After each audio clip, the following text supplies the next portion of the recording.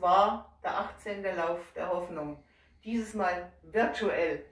Ich danke allen Beteiligten, allen Sponsoren und allen, die uns die Daumen gedrückt haben und die uns das ermöglicht haben. Es war was Besonderes. Es war so ein richtiger Rangerprob für ein gemeinsames Miteinander.